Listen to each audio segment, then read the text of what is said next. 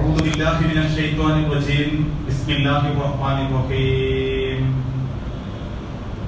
يا أيها الذين آمنوا اتقوا الله حق تقاته ولا تموتن إلا وأنتم مسلمون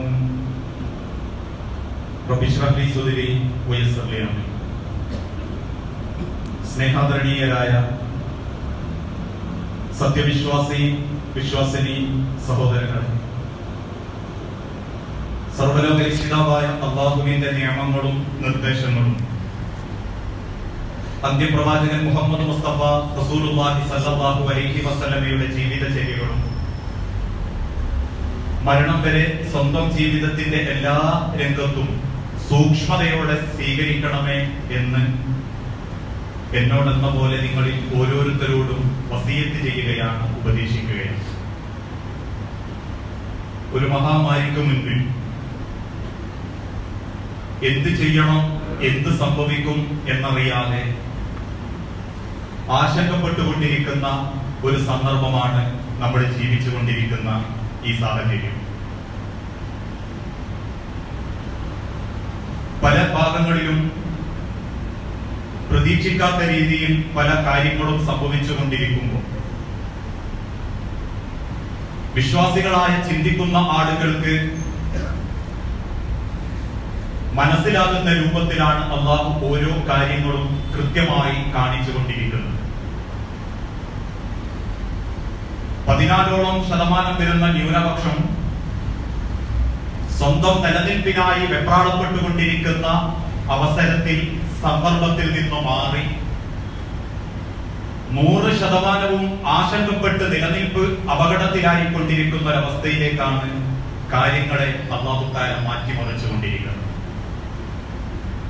ഒരായുസ് മുഴുവൻ ലാളിത്യത്തെ പറ്റിയും ആഡംബരത്തെ പറ്റിയും പ്രസംഗം കേട്ടിട്ടും മാറാത്ത നമ്മളെ. ഒരു രോഗം കൊണ്ട് അള്ളാഹുത്താര ആഡംബരത്തിൽ നിന്ന് ലാളിത്യത്തിലേക്ക് കൊണ്ടുപോകുന്ന കാഴ്ചയും അള്ളാഹു നമ്മളെ കൺമുമ്പിൽ കാണിച്ചു ലക്ഷങ്ങൾ ബാങ്ക് ബാലൻസ് ഉണ്ടായിട്ടും മരുന്ന് കണ്ടുപിടിക്കാത്ത ഒരു രോഗത്തിന്റെ മുൻപിൽ ആശങ്കപ്പെട്ടിരിക്കുന്ന അഹങ്കാരത്തിന്റെ ഇരുകാലികളെ അള്ളാഹുവിന്റെ ദൈവത്തിന്റെ മുൻപിൽ നിങ്ങൾ നിസ്സാരമാണ് എന്ന് റബ്ബ് ബോധ്യപ്പെടുത്തുന്ന പലതും നമ്മൾ കണ്ടുകൊണ്ടിരിക്കുകയാണ്. അതിൽ നിന്നും രക്ഷപ്പെടാൻ വേണ്ടി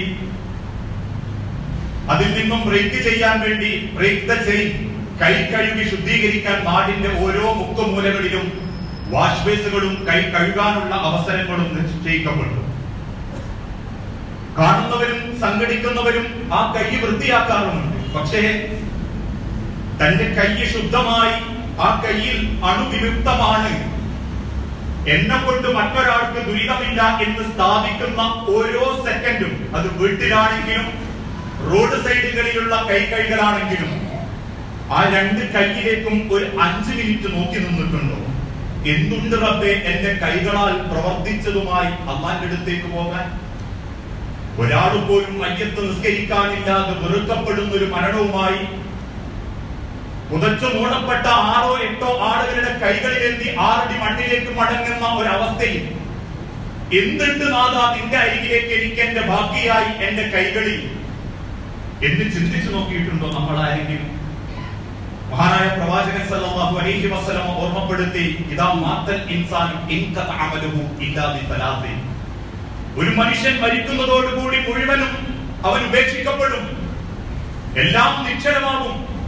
അവന്റേതെന്ന് അവൻ അവകാശപ്പെടാനുള്ളത് അവന്റേതെന്ന് അവന് സന്തോഷത്തോടെ പറയാനുള്ളത് ഇല്ലാ ബിസലാസിൻ മൂന്ന് കാര്യങ്ങൾ മാത്രമാണ് നമ്മൾ എങ്ങനെ മരിച്ചാലും ഈ ലോകത്തിൽ നിന്നും അള്ളാഹു താര തിരിച്ചു കൊണ്ടുപോകുമ്പോ കൊണ്ടുപോകാൻ സാധിക്കുന്നത് മൂന്നേ മൂന്ന് കാര്യങ്ങൾ മാത്രം അതിൽ ഒന്നാമതായി തിരുതുതൻ പഠിപ്പിച്ചു.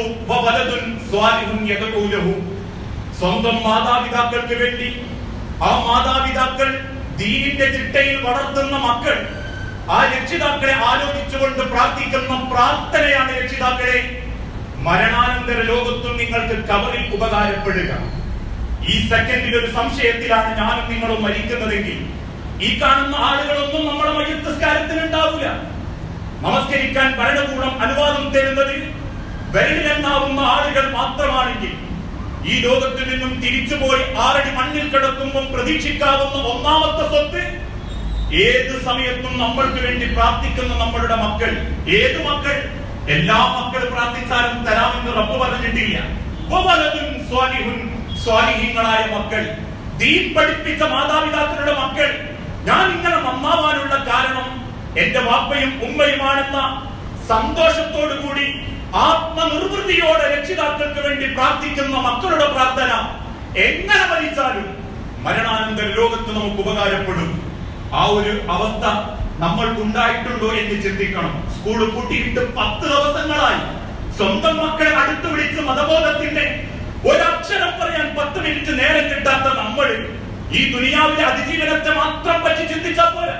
പാരത്രിക ലോകത്തുള്ള സെക്കൻഡുകളെ പറ്റിയും ചിന്തിക്കണം.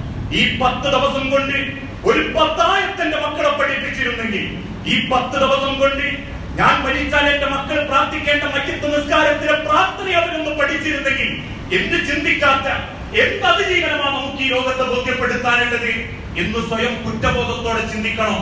ഇതാണ് ഒന്ന് മരണാനന്തര ലോകത്ത് നമ്മുടെ സമ്പാദ്യമായി ബാക്കിയുള്ളത്.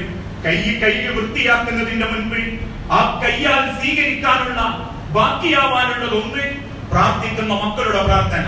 രണ്ടാമത്തത് സ്വതക്കത്തും ജാരിയ നിലനിൽക്കുന്ന ഒഴുകുന്ന ദാനധർമ്മം പലരും പട്ടിണിയിലേക്ക് എത്തിക്കൊണ്ടിരിക്കുകയാണ്. പല കച്ചവട സ്ഥാപനങ്ങളും പൂട്ടിയിടേണ്ടി വന്നു. പലരും ജോലിയില്ലാതെ വെപ്രാളപ്പെടാൻ തുടങ്ങി. പലരും അവരുടേതായ അവസ്ഥകൾ സങ്കടത്തോടെ ഓർക്കാൻ തുടങ്ങി. ആ സമയത്ത് ഒന്നര മാസവും രണ്ടു മാസത്തേക്കും മുൻപേക്കുള്ളത് വാങ്ങി അവനാന്റെ ഫ്രിഡ്ജിലും അവനാന്റെ വീട്ടിന്റെ മുക്കോലും മൂലക്കും തിരികെ കയറ്റുമ്പോ അറിയണം മനുഷ്യരെ ബാക്കിയാവുന്നത് സ്വന്തം ധനം കൊണ്ട് ഈ ലോകത്ത് ബാക്കിയാക്കി വെക്കുന്ന നന്മകളാണ് അത് ചെയ്യാൻ അവരെന്റെ കണ്ണുനീരറിയാൻ അല്ലെങ്കിൽ അള്ളാഹുവിന്റെ ദീനീപരമായ കാര്യങ്ങളിലേക്ക് ഇടപെടാൻ നമ്മൾ ചെലവാക്കിയതൊന്നുണ്ടോ? അതും നമ്മുടെ കബറിലേക്ക് കിട്ടും. അതും നമ്മളോടൊപ്പം കബറിലേക്ക് വരും. ഈ പള്ളിയിൽ ഒരു കല്ല് എന്റേതുണ്ടായിരുന്നെങ്കിൽ മരണത്തെ ഞാൻ ഭയപ്പെടില്ലായിരുന്നു. ഈ പള്ളിയുടെ സൗകര്യങ്ങളിലോ അള്ളാന്റെ ദീനിന്റെ ഏതെങ്കിലും ഒരു കാര്യത്തിലോ ഒരു നൂറ് രൂപ എന്റേതുണ്ടായിരുന്നെങ്കിൽ ആശങ്കപ്പെടില്ലായിരുന്നു വിശ്വാസികൾ. കാരണം മരിച്ചാലും ഈ പള്ളിയിൽ ഏത് കാലം വരെ മനുഷ്യർ കയറുന്നോ? ഏത് കാലം വരെ ഒരു വാഹനം നിർത്തി മൂത്രമൊഴിക്കാൻ ഈ പള്ളിയുടെ ഈ ബാത്റൂമിന്റെ അരികിലേക്ക് നടക്കുന്നു? അവന് വേണ്ടി കവറിൽ അള്ളാഹുവിന്റെ വർക്കത്തിറങ്ങും. കാരണം അവന്റെ ഒരു രൂപ ഈ പള്ളിയിലുണ്ടെങ്കിൽ. ആ ഒരു രൂപ പോലും ഈ ദുനിയാവിലെ അള്ളാഹ് ഇഷ്ടപ്പെട്ട ഒരു സൗകര്യത്തിൽ നമ്മൾ ചെയ്തു വെച്ചിട്ടില്ലെങ്കിൽ നമ്മളെ വീടൊന്ന് വലുതാക്കി മണ്ണോട് ചേരേണ്ടതാ. നമ്മുടെ വാഹനം നമ്മുടെ ലക്ഷങ്ങൾ കൊടുത്തു മാറ്റി മണ്ണിൽ ഉപേക്ഷിക്കപ്പെടേണ്ടതാ. നമ്മൾ ഉടുത്തത് നുരുമ്പി തീരേണ്ടതാ. നമ്മൾ തിന്നത് വിസർജ്യമായിട്ടും ആരോഗ്യമായിട്ടും കഴിഞ്ഞു പോയതാ. മരണാനന്തര ലോകത്തേക്ക് എന്റെ സ്വത്തിൽ നിന്ന് ഞാൻ എങ്ങനെ മരിച്ചാലും ആരും നിസ്കരിക്കാനില്ലാതെ മരിച്ചാലും എനിക്ക് എന്തുണ്ട് റബ്ബേ എന്ന് ചിന്തിക്കുന്ന ഒരു മാനസികാവസ്ഥ നമുക്ക് ഉണ്ടാക്കിയെടുക്കാൻ സാധിക്കണം. അതാ രണ്ടാമത്തേത് അഥവാ സ്വതക്കത്തും ജാരിയ നിലനിൽക്കുന്ന ദാനധർമ്മം. മൂന്നാമത്തേത് ഉപകാരപ്പെടുന്ന അറിവുകൾ. ഒറ്റക്കൊറ്റക്കല്ലെങ്കിൽ പോലും സ്വന്തം കുടുംബത്തിൽ ഒരുമിച്ചിരിക്കാൻ മണിക്കൂറുകൾ കിട്ടാറുണ്ട്.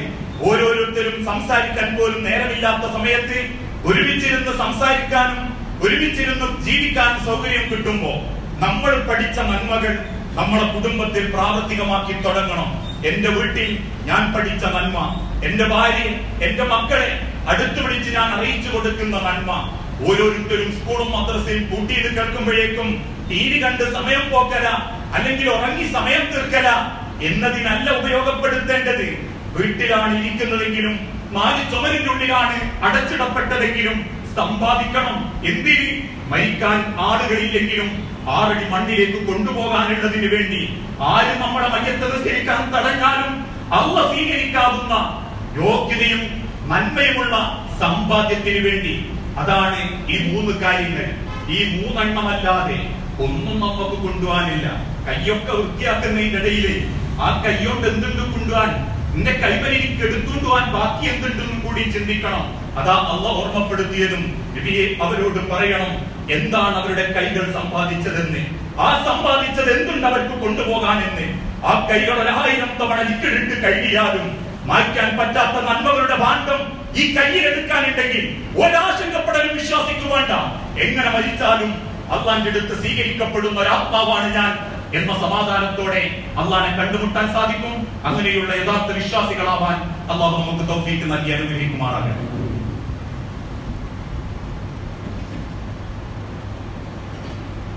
അലഹമുല്ലാ വസ്സലാത്തു വസ്സലാമു അലാ റസൂലിൽ അമീൻ. വഅലാ ആലിഹി വഅസ്ഹാബിഹി അജ്മഈൻ. ജീവിതത്തിന്റെ എല്ലാ രംഗത്തും അള്ളാഹുവിനെ ഓർക്കണമേ എന്ന് ഒരിക്കൽ കൂടി ഉപദേശിക്കുകയാണ്.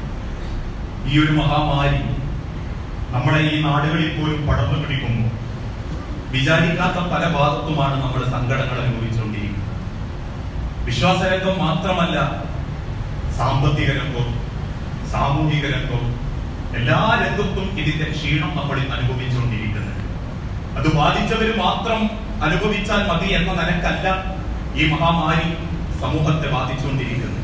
കച്ചവടം കുറഞ്ഞ് മുൻകാലഘട്ടത്തിലെ ചില ജി എസ് ടികളുടെ തലവേദനയിൽ നിന്ന് കച്ചവടക്കാർ ഊരി വരുമ്പോഴേക്കും ഒരാൾ പോലും കയറാതെ സ്ഥാപനത്തിൽ ഈച്ചയും മാറ്റിയിരിക്കുന്ന ഒരു കച്ചവടക്കാരന്റെ ഗതികളൊക്കെ നമ്മൾ ചിന്തിക്കണം.